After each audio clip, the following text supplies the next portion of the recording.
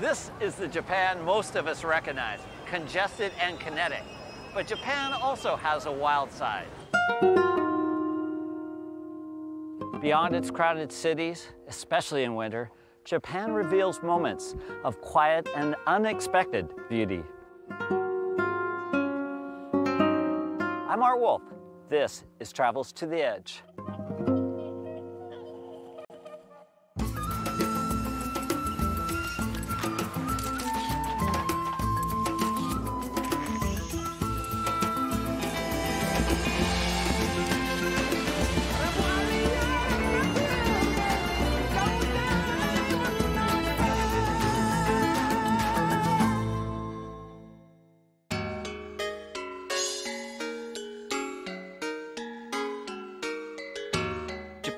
A chain of islands that lies to the east of the Korean Peninsula in the North Pacific. We're visiting mountainous Honshu, the country's largest island, and rugged, sparsely populated Hokkaido to the north.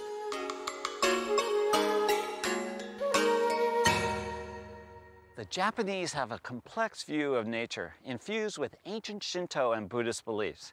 It's this elusive quality that I'm trying to convey through my lens.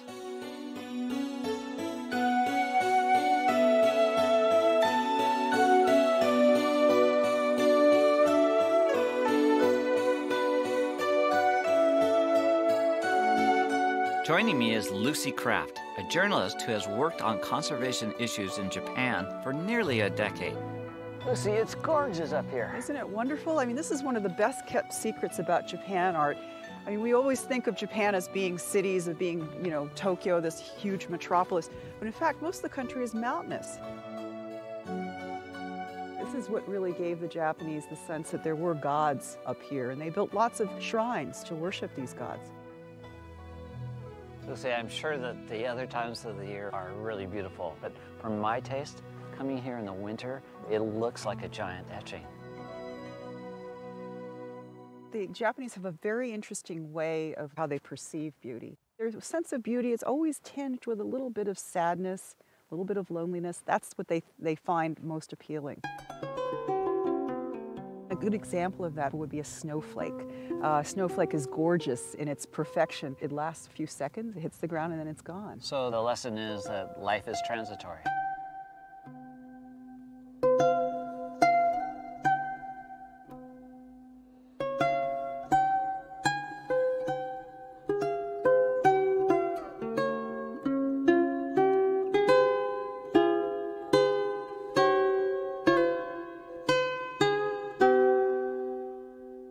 Koyasan was started as a religious place about 1200 years ago.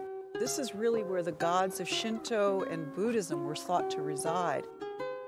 People have been coming here on pilgrimages for over a thousand years. Can you explain to me the difference between Buddhism and Shintoism? Shinto is the native religion of Japan. It's an animist religion. Everything, a, a, tree or a rock or a bridge or anything could be a god in the Shinto religion. Buddhism was brought over from India uh, by way of China. They sort of made it their own and they put the two of them together. It's a, it's a very flexible way of approaching religion. They sort of believe in two at the same time.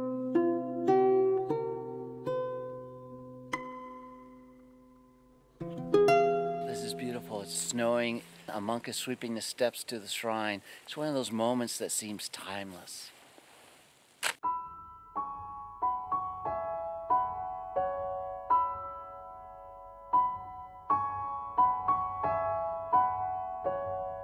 Right now, this Buddhist monk is walking towards me in the blowing snow. Just a beautiful, quiet scene.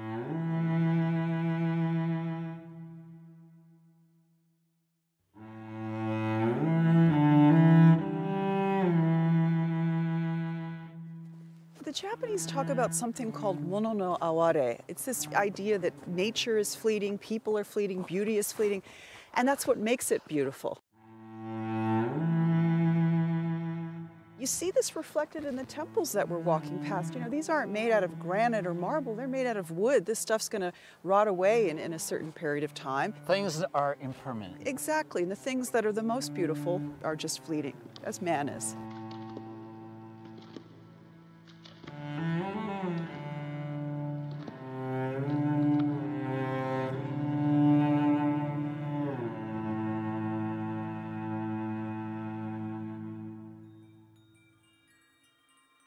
These monks are taking purified rice to the Buddhist temple.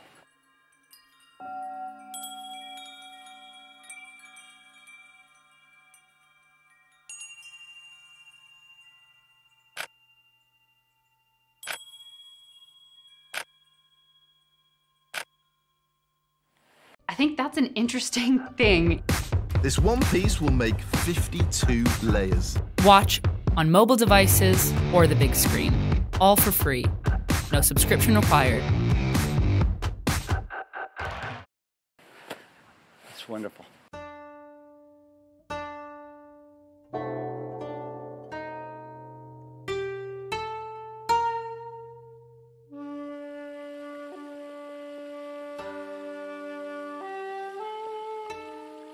These moments of quiet solitude and seeing tradition are ones that I'll take back to Seattle and I'll just remember this moment. It's so peaceful.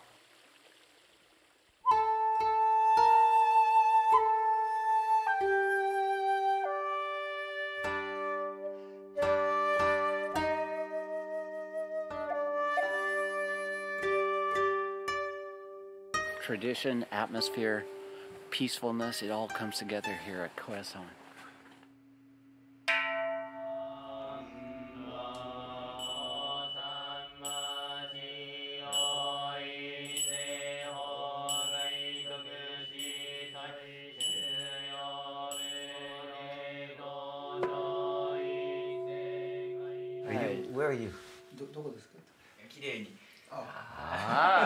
That's you. That's beautiful. Thank you. You two live in a beautiful place. Ooh, my best one.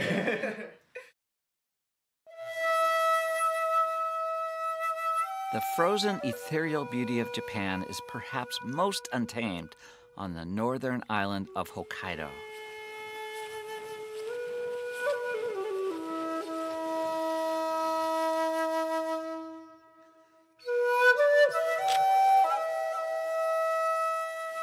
It is freezing here in Hokkaido. It's zero degrees Fahrenheit. I've come up a volcano to photograph a crater lake. This is Mashu Lake, I've been distracted by these beautiful dead birch trees that are right on the volcano's edge and they're catching the first light of the rising sun. These trees are very, very expressive. They almost look like dancers, frozen in place with their limbs out there stretched, contorted, and suddenly my main subject becomes secondary to these beautiful trees. What I'm trying to do is take the Japanese aesthetic of simplicity and serenity and make it come alive in my photos.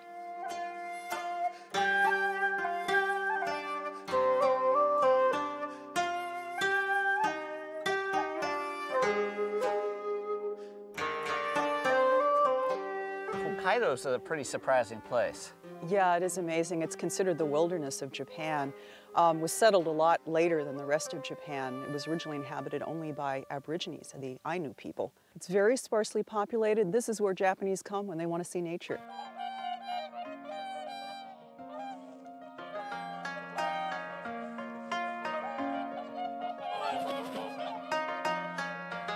I've got this entire lake to myself. That is myself and about 150 whooper swans. Beautiful, graceful swans that come down the coast of Siberia and winter over here on Hokkaido.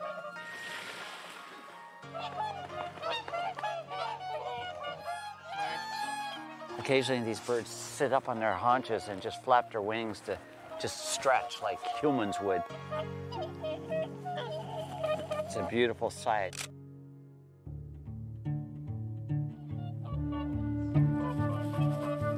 These whoopers have such an elegant shape that they're really revered by many cultures around the world. The Japanese in particular are drawn towards really simple and elegant forms.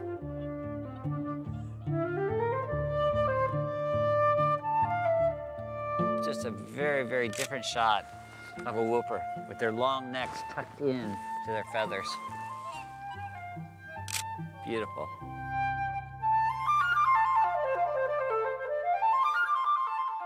This is the way photography should be.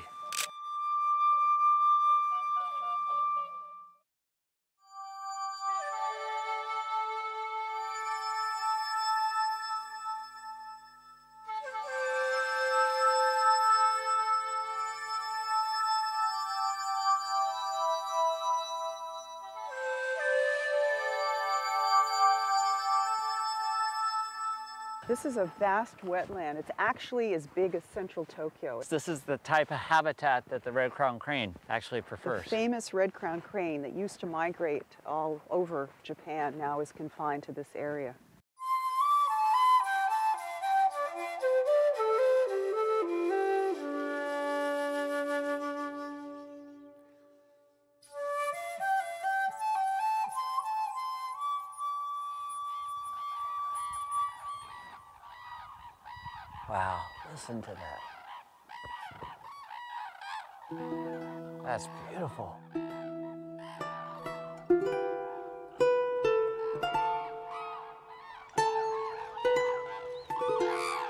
The crane is actually almost like the unofficial national bird of Japan. It's inspired so much poetry, so much literature, so much beautiful art.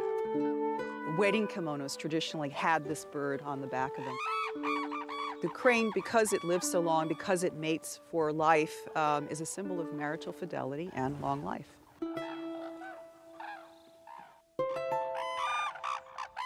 What uh, I love about these birds are just the dance, the graceful dances, mm-hmm. and the wings mm-hmm. go up, and they just seem to interact so beautifully.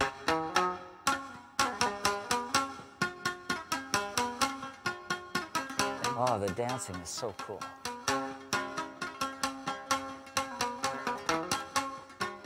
These birds are really performing for us. Look at that one dancing.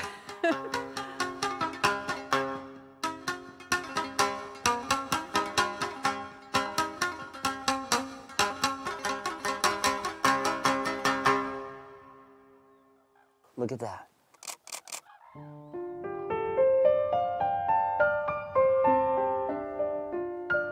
That is so beautiful.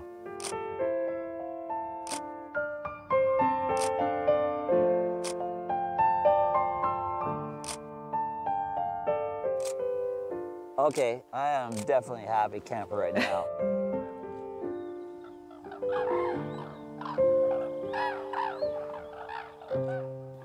They are so beautiful when they spread out those wings and just go straight up in the air. Just like artwork.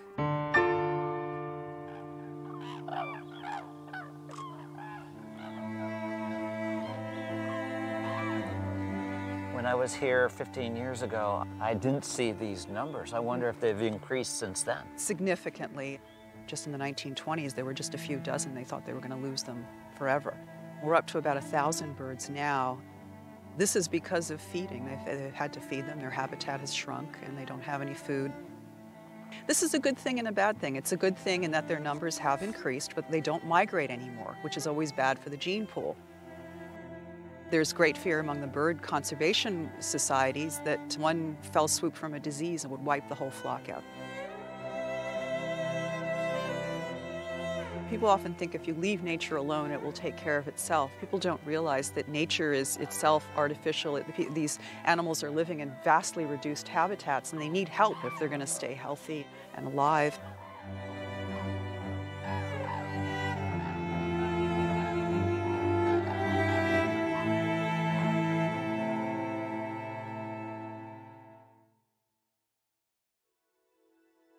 Back on the island of Honshu, one mountain is iconic.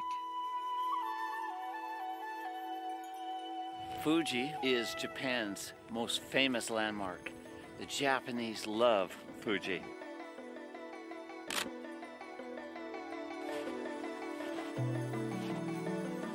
I have found my spot and it's down in this frozen mud. There's this tiny little pond that's maybe 15 feet across. And in this pond, when the wind dies down, I can get a really nice reflection. What makes this mountain so famous in my mind is the beautiful symmetry of the summit.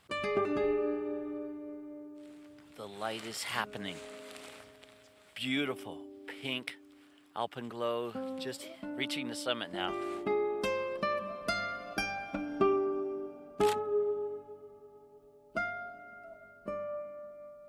On a sublimely beautiful morning like this, you can really understand why the Japanese love Fujisan.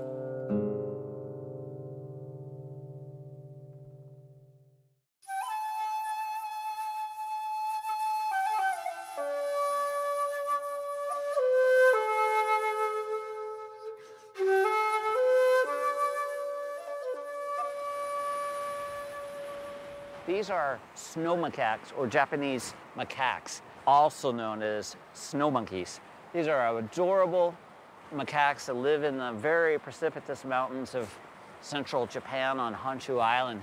They have been habituated over the years. They're drawn towards the natural hot springs.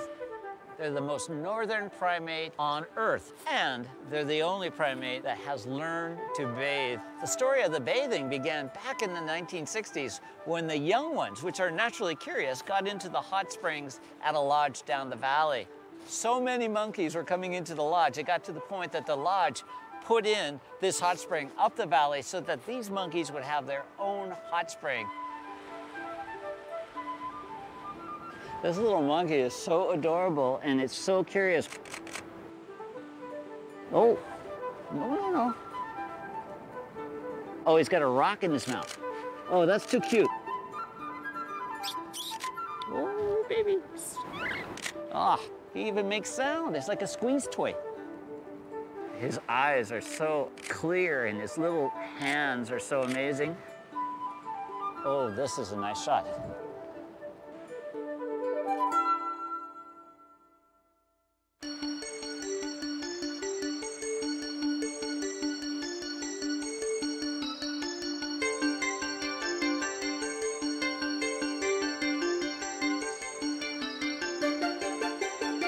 Got great shots of monkeys jumping across this rock. They're coming right over this snow-covered rock. Beautiful shots, getting him in mid-flight. Here goes one right now.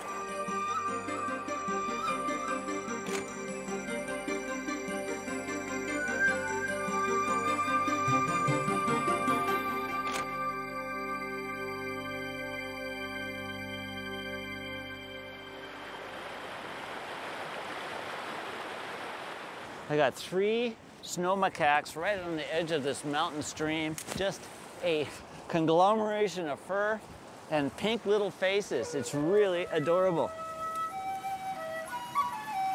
It's how they survive in this very harsh environment is the ability to stay close together for warmth and security, just as tight as three animals could possibly be. This is why I travel so much. Moments of intimacy like this really reward me.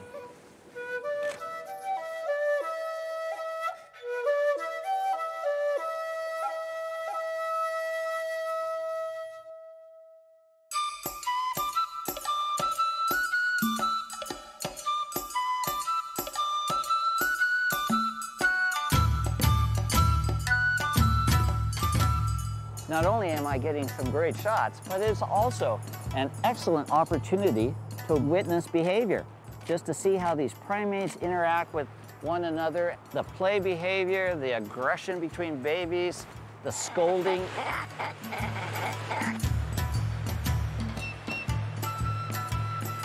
These are undoubtedly the cleanest monkeys in the world.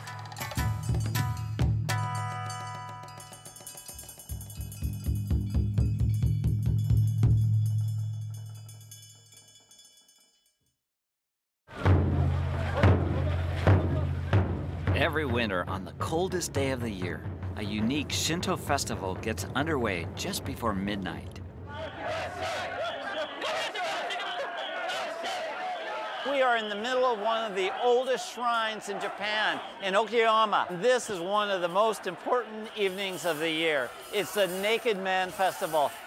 Before the end of the evening, over 9,000 men will vie for two wooden amulets called shingi. And if they get that amulet, they will have good luck for the rest of the year. These men are shouting, Wachoi, Wachoi, wonderful, wonderful. Now it's starting to get interesting as hundreds of men start circling through and taking a purifying bath. They're cold, they're wet, they're drunk. This tradition goes back 500 years, and in modern Japan, it's really exciting to see traditional ways being celebrated on such a massive scale. Talk about a sea of humanity. It literally looks like a sea of ebbing and flowing as these people keep pushing each other. All you can see is heads and arms and torsos interlocked and swaying back and forth. This is chaos. Look at them fall. Now it happens. This is amazing.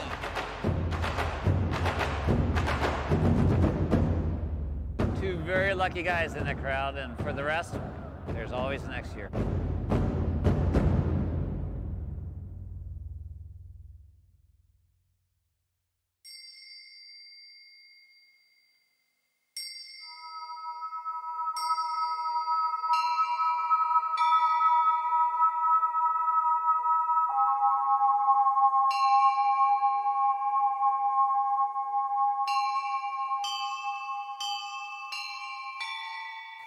Shrine known as Kasuga Taisha is one of the most revered in all of Japan, with over 3,000 lanterns on the grounds.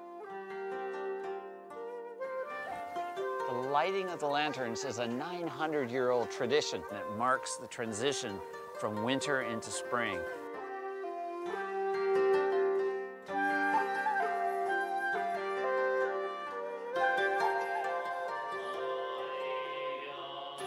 This is the moment where I really feel this tradition. Monks are chanting, the candles are lit, and it's very, very mystical.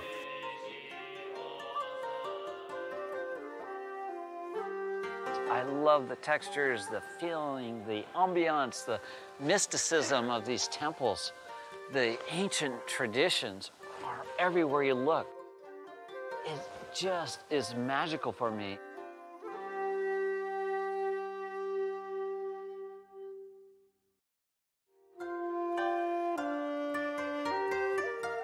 The Japanese know that beauty is fleeting. As a photographer, I can relate to this awareness that things move us with their impermanence. I'm Art Wolfe. Join me next time on Travels to the Edge.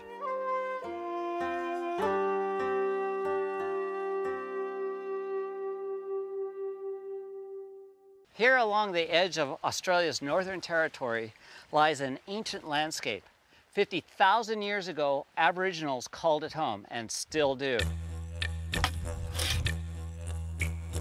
This is the place of the Dreamtime, where land and story meet. I'm Art Wolfe. This is Travels to the Edge.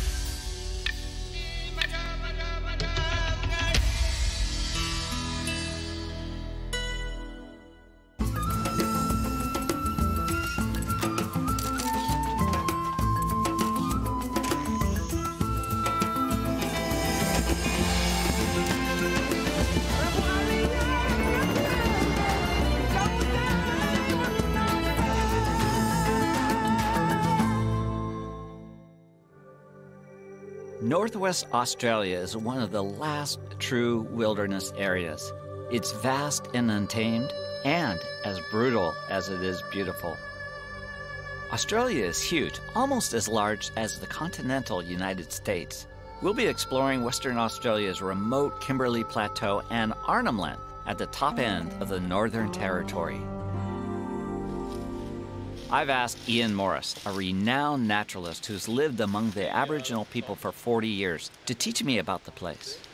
Ian, tell me a little bit about Arnhem Land. It's probably the only bit of really decent Aboriginal Australia left as it was when Captain Cook arrived. It's just a wonderful little window on what Australia was like in times past. To an Aboriginal person, they feel that the land owns them. These people believe that the land produced them, the land nurtured them, and therefore they had a responsibility in their lifetime to care for it. They feel they're part of it, it's part of them. The Aboriginal peoples understand the annual cycles of this harsh environment.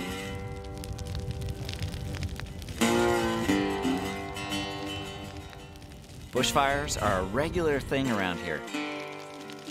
For me, they're a thrilling and dynamic subject, especially at night. Fire in this country is very important to the ecology, to the people who lived here. Traditionally, they used fire for keeping away mosquitoes, for being able to walk through the bush without seeing snakes. Their word for burning in this country is equivalent to cleansing. They see fire going through this country at low intensity like this as a cleansing process. It has the effect of renewing the landscape, and of course, that's very good for the wallabies and kangaroos and other herbivores. That lingering twilight blue set with the orange flame, it is really a great subject. It's a great uh, experience actually to be in a bushfire at night. The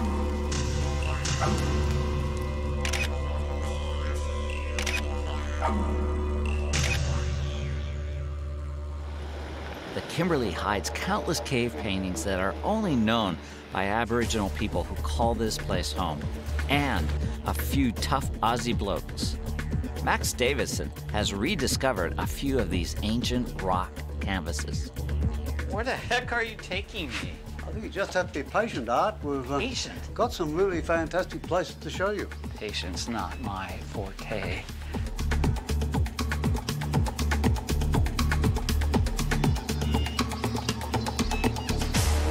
Well, this is the way I came in when I first found this site, and I'm only talking back 1988, not that long ago, Art.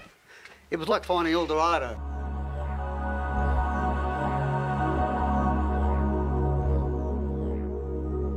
Lord knows how many years I've been painting here for. It Could be thousands and thousands of years. So we're looking at occupation at least going back 60,000 years. This is a fantastic gallery. It looks like there's a lot of layers. Well, there's probably thousands of layers there are. Uh, an elder told me that they can't repaint someone else's painting, but you put your painting over the top. So their story's there and your story's there. Without harming the other person's That's stories. right, doesn't hurt the story at all.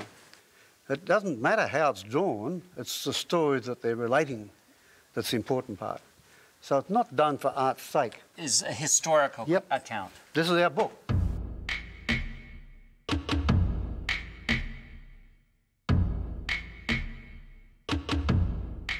There's such a strong sense of design in their depictions of animals. It's not realistic, it's stylized and rendered in a very simplistic way, and yet so beautifully. One of the joys is just studying it, and the more you look, the more you see.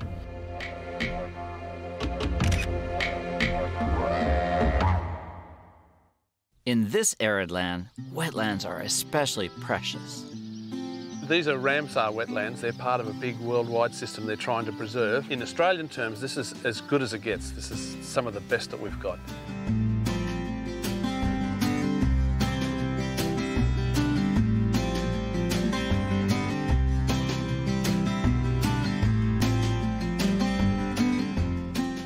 We've got a challenge now to keep these places good. Lovely saltwater crocodile. Saltwater crocodiles like to thermoregulate. Body temperature is critical for them. The whole back of the animal is basically a big solar panel. They uh, store heat up to a certain level. When they sort of reach the optimum, sometimes they're too lazy to move. They only have to open their mouth. So that animal there with its mouth open is not being aggressive towards Art Wolfe in any shape or form. It's just merely keeping its body temperature at an even level. I love these kind of shots where I'm abstracting nature, not just shooting portraits, but trying to create kind of a mystery around these great creatures and not telling the whole story in one photo.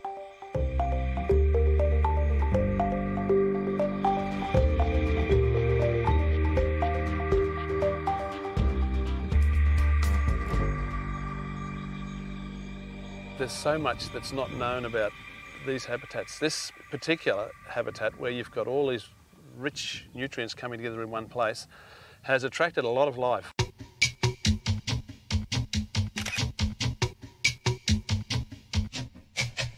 These little dragonflies are our common species here in the wetlands.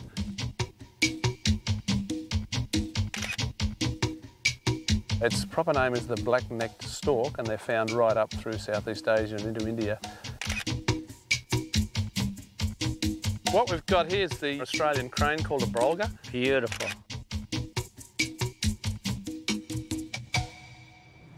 We've got the potential for a really nice shot as we come up close to this pelican. He's moving, and if he takes off, I'm in a great position to get a good shot. He's thinking about it. He's walking back just so he has a little bit of a runway. He's repositioning, gauging the wind. One last instrument check. There he goes.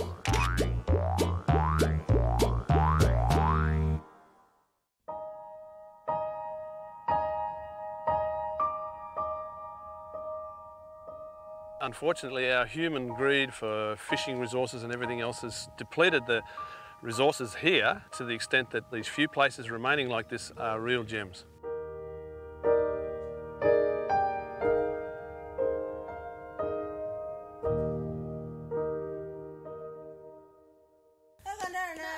Just off the coast of the Northern Territories lies Elcho Island, home to the largest Aboriginal community in northeast Arnhem Land. Arnhem Land has been given a bit of elbow room. It's an Aboriginal reserve. People here have had a chance to look out at the rest of Australia and see what's happened to their people in other places where the Western society has just swamped them. Their culture is still here and alive and with them. So Art, I'll be uh, introducing you now to some of my aunties and nieces and these ladies are all relatives of mine. This is Art Wallon. Hello. Hello. How are you? Dede Manmak. Mamak. Yeah. So you're making baskets. Yo. I love baskets. I collect them from all over the world. Yo. Can I take a picture? Okay. Nice. Will you do me a favor? And let me take one picture of the three of your heads as close as you can and show me. Yeah, yeah, just like this. Yeah, this is perfect. Okay, look at me and smile. Okay, so let's see what we got. Okay, will you take a picture of me? Come on, yeah, come here. Take a picture. Try- try Hold to this. Hold it.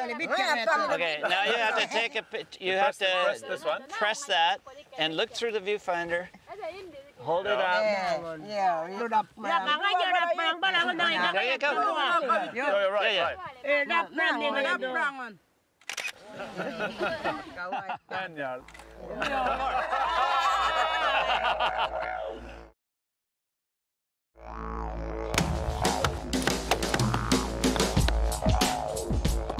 The stringy bark is the most common eucalyptus tree in northern Australia. These trees, hollowed out by termites, are used to make the iconic Aboriginal instrument, the didgeridoo. Okay, Art, this is called guku, bush honey or sugar bag, and it's a bush delicacy. Try it. There's bees in there. Yeah, it's good for you. Protein. Um, I'll lick it. Good. Put it in your mouth and chomp it up. Mmm. That's like molasses. It's very nice, very sweet. It's good for you. And when you finish eating the honey, you save the wax, and that gets used to make the mouthpiece for the didgeridoo, the yidaki. Oh, I see. I you wasted a good bit of wax there. That's the first time in my life I've ever intentionally eaten an insect. And you enjoyed it, didn't you? I like the honey, I have to say. The bush here is full of resources, natural resources. To us, it looks pretty dry and boring, but if you're with Aboriginal people, like Jallu, never go hungry. What's happening here is that a group of people are preparing a bunggul, which is the local word for a, ceremony or a dance, and there's a lot of people gathering around because whenever people celebrate a story, it draws a crowd. It's another form of pantomime, I suppose, as far as the local people are concerned. It's entertainment, but it's also learning. They're passing on old, old, old stories to the younger ones. I've got this beautiful shot right now.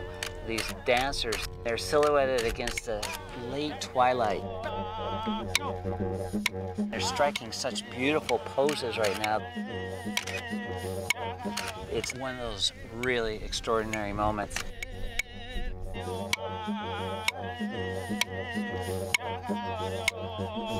I feel that I'm photographing a timelessness, a, a tradition that is being passed from generation to generation in the form of the dance.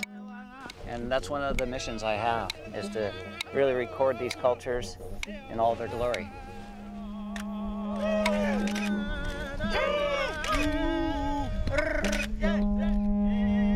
That's nice. Look at that. What do you think, Peter? Am I a good photographer? Mingmak. Mingma. That means the best photographer maybe on the planet. That's the one. Ajar up malah. Ako nakawala pa dal mana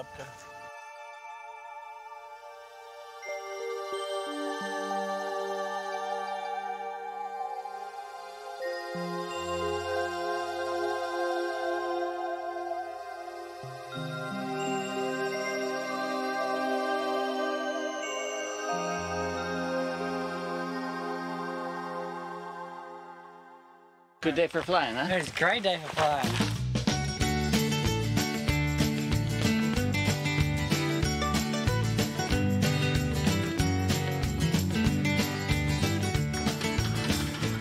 You ready to go? I'm ready to go.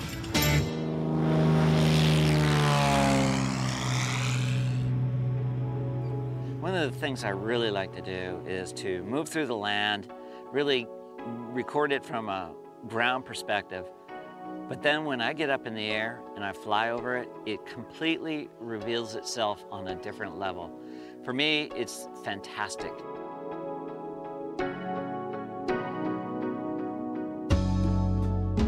all the shapes, the textures, the colors, the lines, they all come out. And it is my favorite type of photography to do.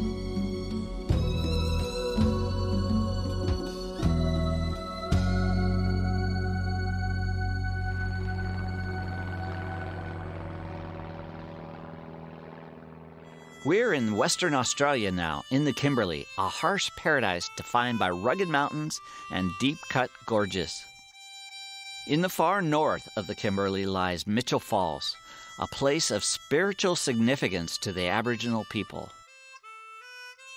Joining me on the hike into the falls is my local guide, Brownie. Can you describe the Kimberley to me? The Kimberley is huge. It's isolated. It's the last frontier. There's something about this country, and it's not just the country itself, it's the people, the Aboriginal people who not only belong in this country, are custodians for it. They belong to the country. The remarkable thing about Aboriginal culture is this whole universe of spiritual depth. So the Kimberley really has some major charms here, some Absolutely. magical places. Right, the sun's getting up. We've got a few k's walk uh, to get into Mitchell Falls.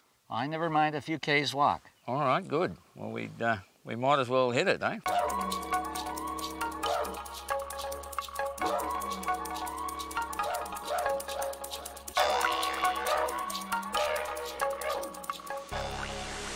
Well, here we are, Mitchell Falls. It's known to the Wunambal people as Punamii-Uunpuu. It's just one of the most incredible places in the world. This is where the main Wunggurr lives, the main creative serpent. In the creation time, when he created this, he rose up and invited all the other creative serpents from around the Kimberley to this one spot for a meeting to see and, and talk about creation, I suppose. And it's just a, a, a mega spot in the Kimberley.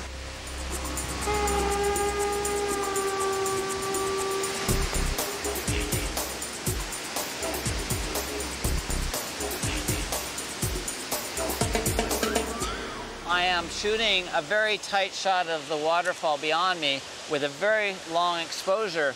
And with that long exposure, it literally renders the water into a very ribbony effect, very dreamy, very artistic.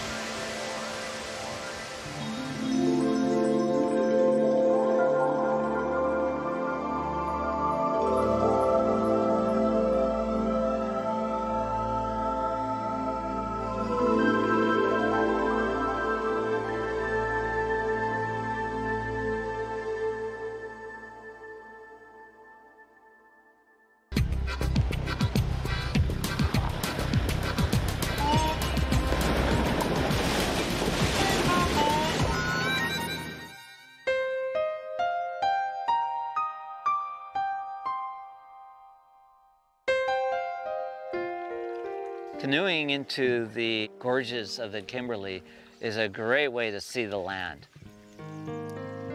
It's very linear. The lines are etched in this ancient stone. When I'm canoeing through it, every bend in a river reveals a new abstract. I'm not really trying to translate this land into depth or tell a story. I'm just trying to create a beautiful abstract pattern where it doesn't even look like traditional land photos. The other thing I'm trying to do is put the horizon right down the middle so the reflection and what is being reflected is equally important.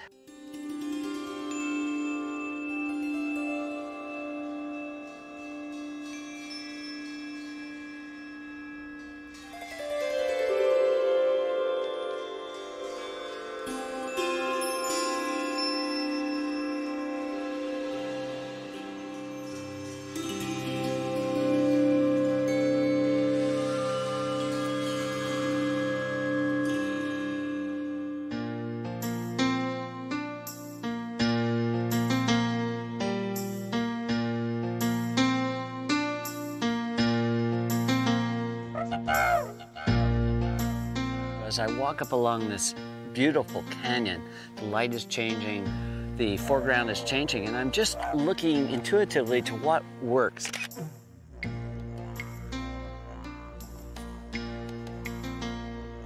This is among the oldest landscapes on Earth. The sense of ancient history really reverberates, whether it's the rock art we find on the walls or the way these beautiful rocky edged buttresses reach into the sky. It's a great landscape to photograph.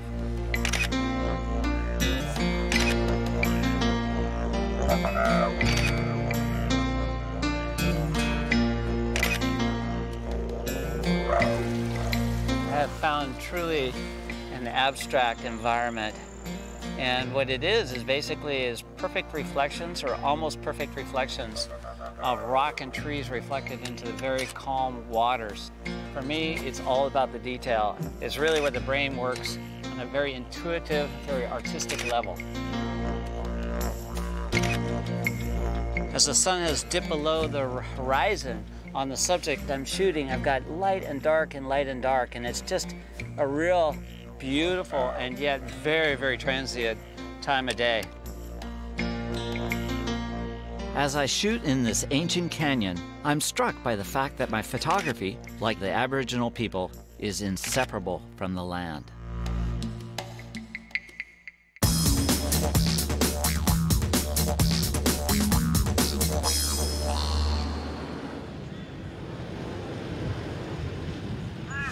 There's not too many gas stations around here. No, no, there's only two on the whole Gibb River Road.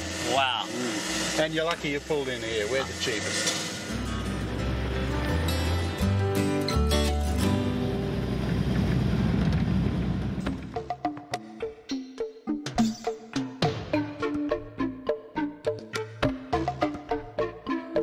Is an incredible area known as the Bungle Bungle. It's sandstone that's 360 million years old, and during the last 20 million years, it's been eroded into these beautiful beehive shapes. This labyrinth of rock has long been revered by Aboriginals. It's astonishing to think that the Europeans never even discovered it until the early 1980s.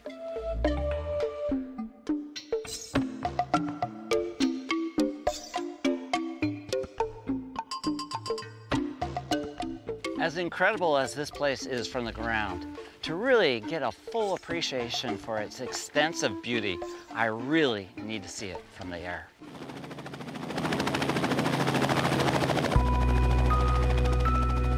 When you look at the Bungle Bungle, the first thing that comes to mind is it's extraordinarily designy. It's a graphic landscape.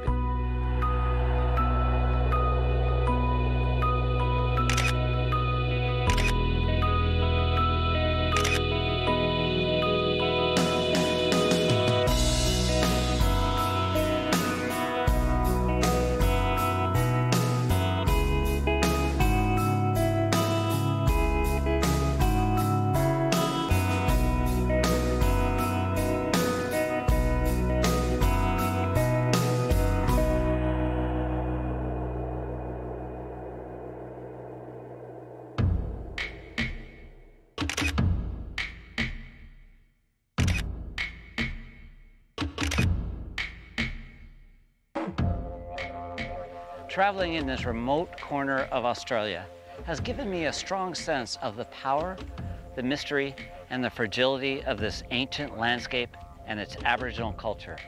I'm Art Wolfe. Join me next time on Travels to the Edge.